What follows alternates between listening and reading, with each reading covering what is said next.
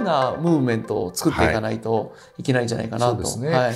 難しいと言われるのは中身があるってことだそうなん そうなんですよ。だから、分かってる人には素晴らしいって捉えるんですけど、そ の数はそんなにいないという話ですよね。ええということですよね、うん。いかに分かりやすく言っていくかということですね。はい。やっぱりあの手取りを増やすという分かりやすい、うん。もう国民民主が言いましたけどね、はい。やっぱりそれを上回る、うん。なんかいい,、ね、いい表現があればいいですよね。でそういったものをまあこれから考えて、まあだから財源に関しては、うん。まあもちろん、あの、これはコンビニさんもおっしゃってますけど、あの、減税することによって国民が使えるお金が増えるから、そうね。そうなると経済全体のパイが大きくなって、結果として税収が増えるとうん。いうこともありますと。うん。それからあと、まあいろいろなね、さっき名前、あの、具体的に挙げていただいた、まああの、GX とかですね。はい GX あとはまあ男女共同参画関連の、なんかいっぱいいろんなところに潜り込んでる予算とか、はいはい。ね、まあ LGBT がどうだとかですね。そうそういったもの、あとあの、変な注射のね、無駄遣いとかですね。あれもめちゃくちゃですからね。はい。あれで扶養がめちゃくちゃ増えたんですからね。ね、うん。あんなものとかですね。うん。あとはもう、わけのわからん、まあ、ロックダウンで緊急事態でね、百姓に使ったりとか、うん。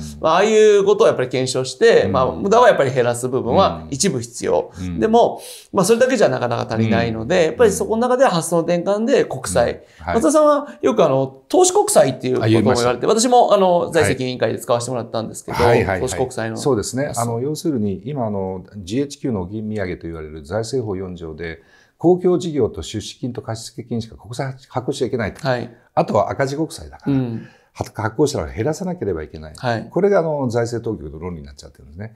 でもなんで実物資産の、ね、公共投資だけがね、あの資産なの、うん。で、バランスシートで考えるべきだと思うんですね。は企業だってみんなバランスシートで資産があって、負債があってと。で、その資産に見合う負債っていうのはもちろん立てないと資産が作れないわけですから、借金しないと資産が作れないわけですから、はい。でこれを国に当てはめて考えると何も、ね、公共事業建物や土地、ね、あのあるいは施設とか道路とか橋とかそれだけが資産じゃないでしょ、はい。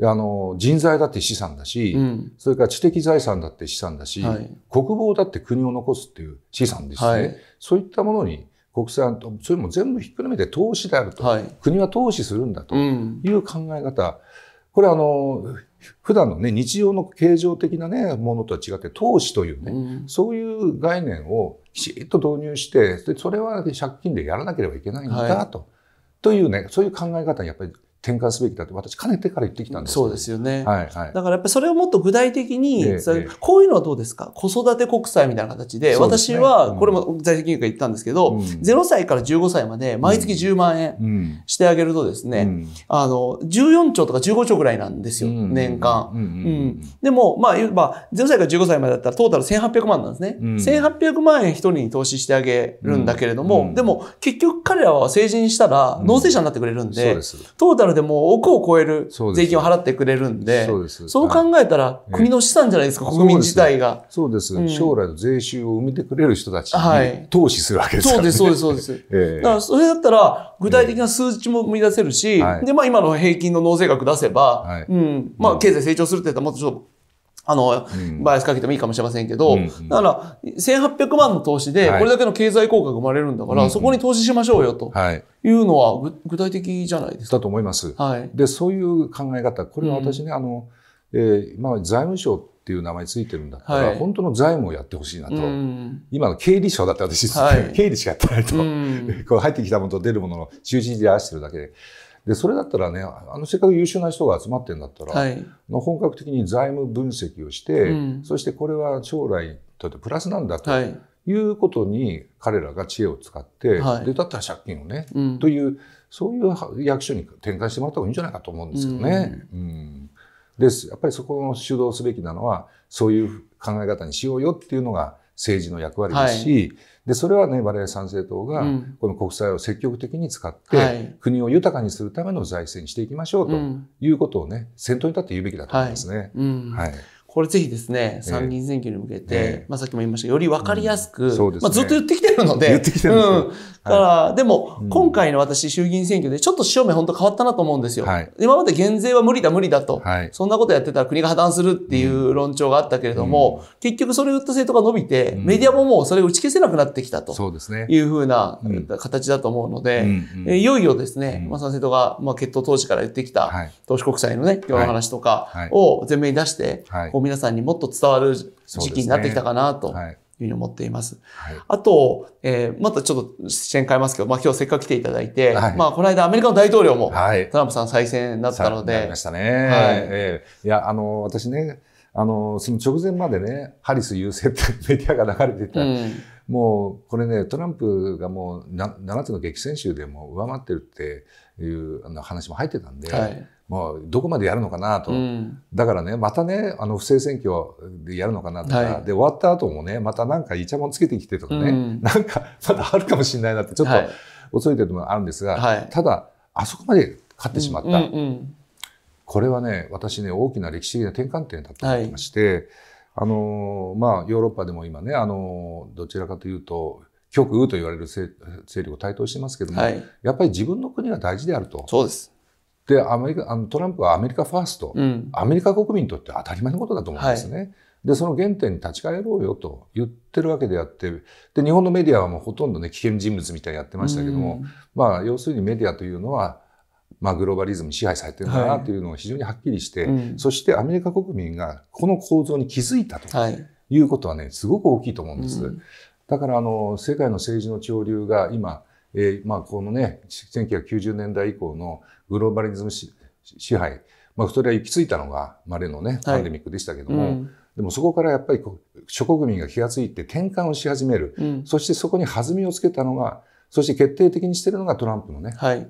大勝利であるとうん。いうふうに私言い続けてまして、はい。えーで、この流れをね、やっぱり日本でもうんどうやってね、世界の潮流というのを日本でも実現していくかとうんいうことがね、まあ参政党唯一のね、はい。あの、そういう立場取ってますから。そうですねはい、はい。他の党は今まで否定してきたところ多いですし、すね逆にね、トランプはダメだとはいいうふうな形で言ってきた。あとグローバリズムなんかないとかね、ディープステートなんかないとかね。陰謀論だというね。ええだって今回だってロバート・ケネディ・ジュニアさんとかもええまだ陰謀論言ってると言ってメディアでやられてましたもんね。いや、そうなんですよ。でも彼なんかまさに食と健康。はい。ね、え我々がね、3年前から言ってきたことをい。や、あのね、トランプさんの言ってることって、参政党とものすごい共通点が多いで。すよね。共通点だらけで、うん。まああのね、自分の国が大切だっていうのもそうですし、はいウクライナ戦争をすぐ終わらせる。。はい。これ我々言ってきたことですね。ですよね。はい。あの何もね、まあもちろんロシアは悪いかもしれないけど、ロシアだけが悪いわけじゃなくて、うんこれ世界全体の構造の中で起こってきたんだから、はえーこれは終わらせる。もうとにかく停戦であると。そう。これ我々別に進路派だとかそんな話じゃないですからね、皆さんないです全然それはもう単なるすり替えで印象操作ですから、ええ我々はロシアとも中国とも対峙していかないといけないと。はいいうことですよ。ただ、そね、西側は全部正しいかってそうでもなくて、グローバリズムっていうものがあるから、そうですねいった民間軍需会社の戦争ビジネスに乗せられるのはダメだと。そうですねもうそれ言ってるだけですからね。そうですよね。はいでと特に21世紀に入ってから、はいやはり軍産複合体がそう戦争を起こしてきたと。はい。そちらの方が問題でしょっていうことを言ってきただけなんで、はい。で、それはあのトランプも全くね、あの彼はもう明らかにそれと反対の立場はい。でウクライナ戦争を終わらせると言ってくれてますし、えそれから例のパンデミックの話も WHO からね、脱退するということを前政権の時にはい方針決めてたそ大統領ですからね。うんで、まあ、これも我々と一致してますし、う。はい。それから、あの、脱炭素原理主義と言ってるんですからね。はいはいまあ、トランプこれ反対して、あの、えーパリ協定から脱退しましたよね。うんで、今度また脱退すると言われてますけれども、まあ、ことごとく我々に近い。はい。で、で、ということは、アメリカが、もう今度トランプが、まあ、下院もね、あの、共和党が制するとトリプルレッドになって、はそうするとトランプ大統領の言ってることは本当に実現性がすごく高くなる。うんそうするとアメリカが今までの政策が根本的に変わってくると。はい。そうすると今まで日本は、まあ、バイデン政権の全部このね、そ言われてやってたわけですから、はいそれ全部変えなきゃいけなくなる。うんで、その時に、じゃあトランプが言ってたことと同じこと言ってた党はどこだとなると、はい参政党になるんですよそうです。ですよね。はい。本当に唯一無二になりましたよね。唯一無二今まで散々叩かれて陰謀論だ、そんなのできないと言われてきて。えでもね、まあ、ロバート・ケネディ・ジュニアさんの話ばっかりしますけど、やっぱりあの、注射に関しても、ええやっぱりちゃんと安全性の検証、はい全部ダメだと言ってないと。んうん。でもやっぱりちゃんとデータを見てうん、科学的根拠に基づいてやるべきでと。ただましてや、ね、その、予防注射なんだから健康な人に打つわけであって、安全性はね、他の薬よりも何倍もやっぱり担保されないといけないと。当たり前のことですよ当。たり前のことで。当たり前のことを、ね、彼は堂々と言ってくれているうん。まあでも、それは我々が言ってきたことでしょ。そうですよ。だから、健康な人に打つものだから、ぜこれはもう絶対に安全だということが証明されるまで使っちゃいけないわけですよね。そうです、そうです。ええええはええこれ当たり前の常識だったと思いますよ。ね、うん。だからそういったこともあるし、あとね、今日前半で話した減税の話も、トランプさんも所得税も下げるとか。減税、まさにね、あの、まさに、えー、まあ、もともと小さな政府執行省から、はい、えー、この法人税も所得税もね、えー、減税するということで、あのトランプの経済政策っていうのは、えかなりこの一貫しているものが私あると思います。はいあの、なんか関税を高く張るからと言われてるけども、うんうん、まあ中国に対してなぜ厳しいわけで、はい、ね、で、そしてその関税を乗り越えられないんだったら、アメリカに投資しましょうよ。と。うん、アメリカの国内のえー、産業をね、復活させましょう、はい、そしてエネルギー価格下げましょう、はい、ものすごい整合性のある政策言ってると思うんですよね。はい、で我々もあの日本国内に製造を戻しましょうということは、これもこれも方向性一致してると思うんですよ。えーえーうん、そうなんですね。だから、まあ、本当にね、アメリカ頼みではダメですけども、まあ、トランプさんにいいモデルを作ってもらいながらやるということと、はい、ただ、やっぱり、その、ね、トランプさんが、うん、トランプ大統領が、まあね、あの、やってくれたから何か日本が良くなるっていうわけではないので、ないと思います。うん、え逆に言うと我々関税上げられる方かもしれないので、えそその面はあるうん、あるかもしれませんね。ね。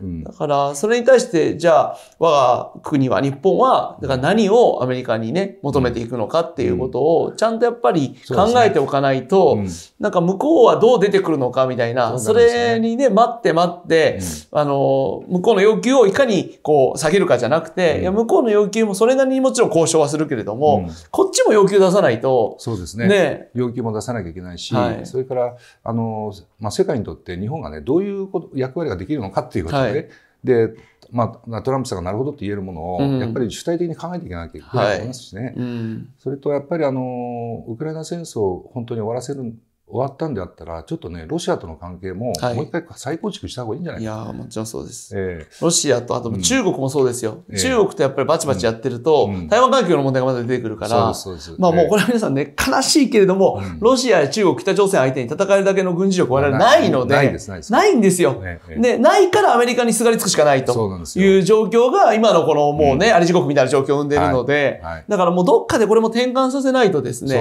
自主独立の防衛ラインを作っていかない。でもそれが時間もお金もかかる。うん、それにはやっぱり外交できちっとですね、今我々が持っているもので交渉していかないといけないので。全くそうだと思います。で、そのためにはね、私たちがもう一回日本という軸をね、アメリカに依存していた軸ではなくて、はい、あのちょうどあの来年戦後80周年で、転機だと思うんですよね。そうそうえー、でやっぱりそこから脱却して戦後のね対米依存の発想からパラダイムから脱却して自分たちを軸にした、はい、えー、政治でとか、あるいは政策、そして外交ということをね、はい。うん、政界全体が向かわないといけない、そういう年じゃないかなと思いますね。はい、そうですね。はい。はい、ええ、まあね、改めての話ですけど、うん、まあ我々はこの話をもう決闘の時から、うん、そういう政党を作ろうとい。うことで、まあずっとやってきて、はいいますので、まあ3年ほどね、あの、早すぎたのかもしれないけれども、今やっと多分聞いていただいたら参政党いいじゃないかと思って、でも別に今言い始めたわけじゃないんだよということなんですよ。我々議長人ですから、この二人が。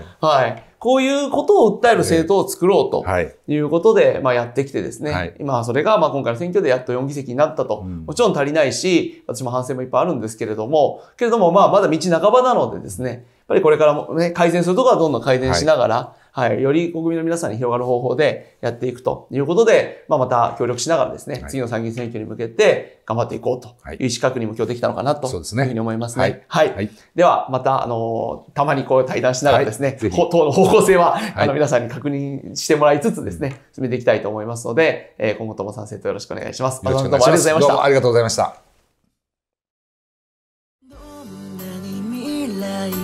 た。